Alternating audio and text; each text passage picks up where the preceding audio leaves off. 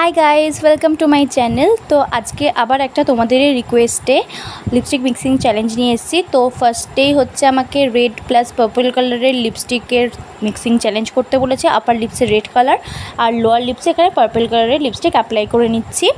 এরপর নেক্সট কী চ্যালেঞ্জ করব অবশ্যই তোমরা কমেন্ট করে বলব। এছাড়াও তোমরা কিন্তু অনেক অনেক কমেন্ট করছ যেটা আমার পার্সোনালি ভীষণ ভালো লাগছে।